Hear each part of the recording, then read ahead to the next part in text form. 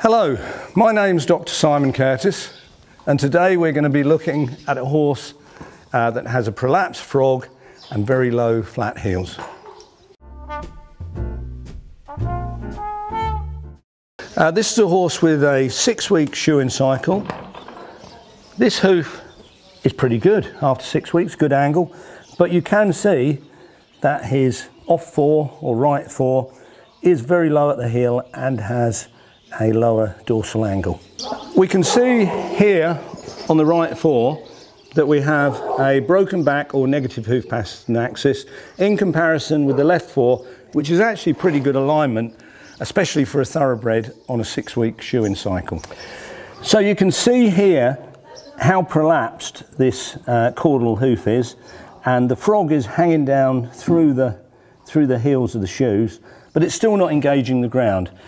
This is an obvious uh, problem with shoeing at any time that we elevate the foot, but in fact, uh, the frog does need to engage with the ground during locomotion.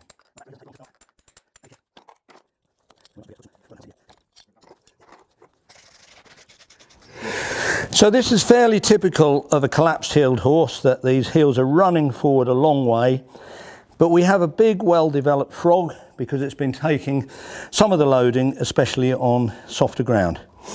So we're going to trim it up a little bit, get the toe down, get the toe back, but especially get the heels back. Getting the heels back is always a problem with low-heeled horses because inevitably, for every stroke of the rasp to get them back, you are lowering, lowering the heels. Now he already has a negative hoof pastern axis, so there's a conundrum here between trimming the heels where you want them, but also making him more uh, negative, uh, more negative HPA. But we're going to see a way of overcoming that. So you can see I'm ignoring the heels at the moment.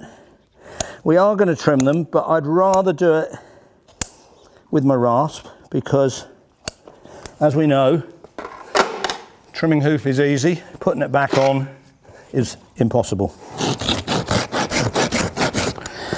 So you can see the heel coming back.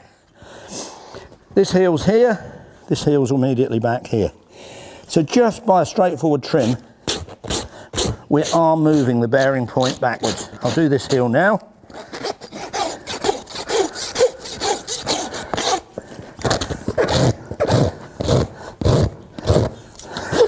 Shape the hoof up a bit.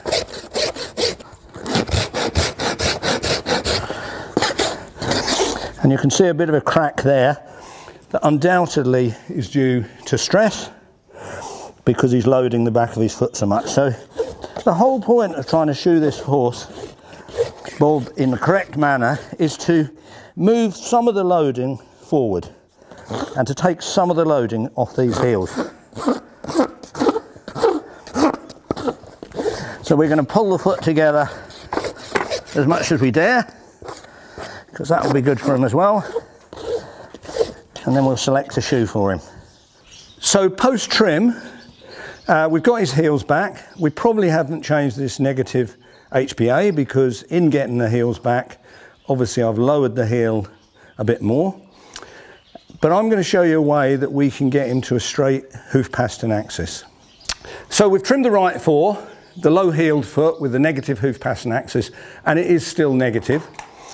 We also have the problem that we need to re-engage the frog to have healthier heels and unload the heels. Now the earliest way of doing this was with the heart bar, and the heart bar really came back into use in the 80s, and it was a great shoe, and it, it enables us to take some of the weight off the hoof wall and transfer it to the, to the frog. But it does have its drawbacks, and we do have better ways of doing that now. So one of the ways we can do it is with a, a pad which has a synthetic frog in it. So those, these are one of those pads. I hope you can see that. It has a hollow area, but this will be the foot side. So it's almost like it mimics the bottom of the foot. But if we just put that pad on, of course, uh, we would have a gap between the shoe. And so we have to have a way of connecting this synthetic frog with the ground. And we do that with dental impression material. Dental impression material is what it says on the tin, but it has this great uh, elasticity, it resists compression. In other words, putting something that just could be compressed easily under a half ton horse doesn't do anything any good at all. Every step that this horse will take, it will load this and it will give it a lot of comfort in the back of the foot. The other thing we're going to do is you can see one of these pads actually has is a wedge pad, it's elevated. Now normally people are against wedge pads because they put more compression on the heel. But as I've said, we're already unloading the heel and the normal process is two shoeings with this pad, two shoeings with a flat pad, and then usually, in the best case scenario, that's the problem over with. What we have to do now is fit the pad to the shoe. We've, we've fitted the shoe, we've burnt it on, we've got it ready, and now we put it on the pad and we get the heels in the place that we want. So in relation to the back of the pad. If we give this a tap with the hammer, we get a nice mark where our clip is, and then we need to cut back to it. Now, some of you might have bandsaws. I don't have a bandsaw in my van, so I'm going to cut down here with cutters, and then I'm going to use my knife.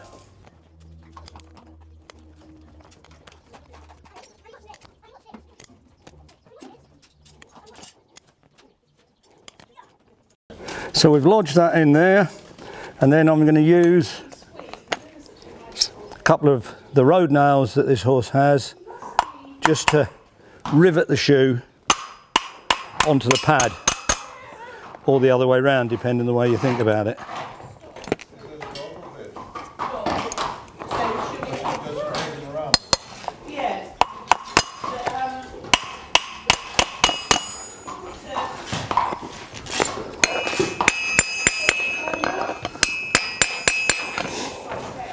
Then the easiest way is to cut this with a traditional farrier's drawing knife, get it in against the pad.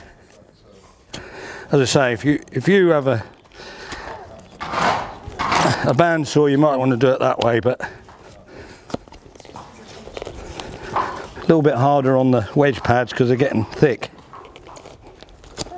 We're going to mix up the dental impression material and we need equal parts not to the microgram but pretty much the way to do this is to get two balls of the same size and then you know you've got an equal amount yeah? So this is the easiest way to mix. Push it together fold it fold it. Push it together fold it fold it. I don't know if you've ever done that. Two times two times two times two. It doesn't take very long to get to a million layers. Now you can see at the moment there's still some white and some marbling in there. We have to mix it until the marbling has gone. So we keep mixing it quickly. We've got quite a warm day. It's probably 23, 25 degrees centigrade and for those of you that still think in Fahrenheit that's getting on towards 80 it's certainly very much over 75. So we do have to get a move on because this does react to heat. It goes off a lot quicker. In the winter, we're waiting forever. All right, let's go over to the horse. And this is what we do. We get our dental impression material. Mm. We brush the foot so I've just given a quick coating of uh, iodine solution there because uh, obviously covering up the frog, we don't want to encourage infection. I've got to work quickly because as I say, it's a warm day and it will go off quick. So let's get our DIM. Make sure you've got plenty in the frog, down the sulci. Don't block where the shoe is bearing. Wait it'll all lose into the right places. Put this on, make sure we're back in. You can see I've got some riveted nails and all I need is my nailing hammer if we've got it somewhere. All right, so let's just put a couple of nails in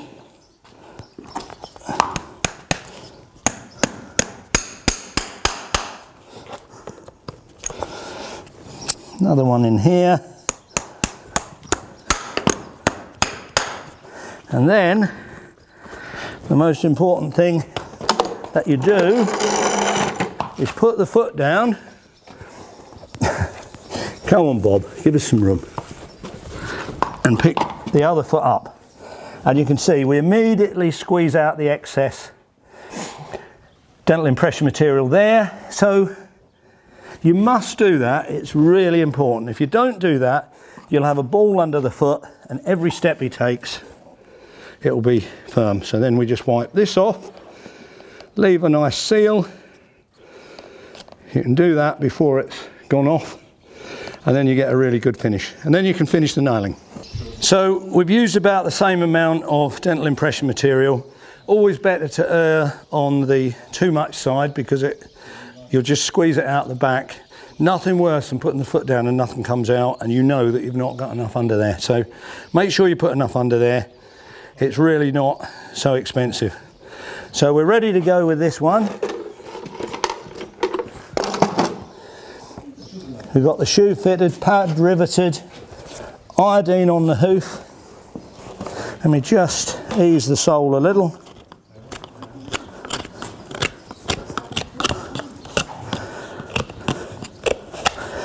Okay, we're ready to go. Let's nail it on. Mm. Help if I, I'll put the dental impression material on the frog Don't have it between where your shoe heels are going to be. Spread it out a little bit. There we go, got plenty on there. Two nails.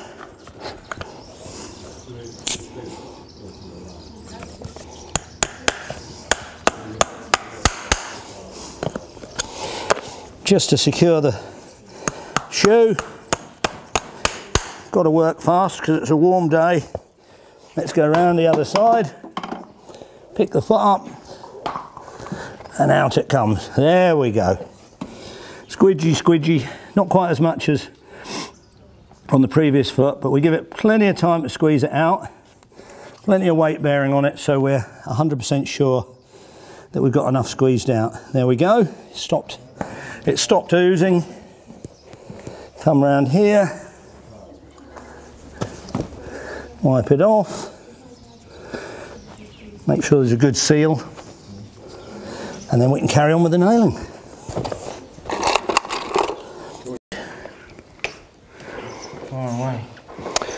Well, you can see after we have finished shoeing him, this side with an elevated frog support pad, the other side with a flat frog support pad.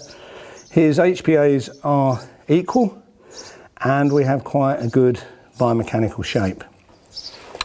Uh, so just to reinforce the fact that we're not saying uh, this horse needs to live in these, this type of shoe or pad for the rest of his life, but we're going to see if we can get some improvement to that heel angle over the next three to six months. You can see a great improvement in both the hoof pastern axis and I hope you can see that we've engaged the frog with the ground. Uh, we'll monitor the horse closely with the owner I hope you've enjoyed this video. If you have, if you have any questions, please put them in the comments uh, box below. Otherwise, please like, share, and definitely subscribe.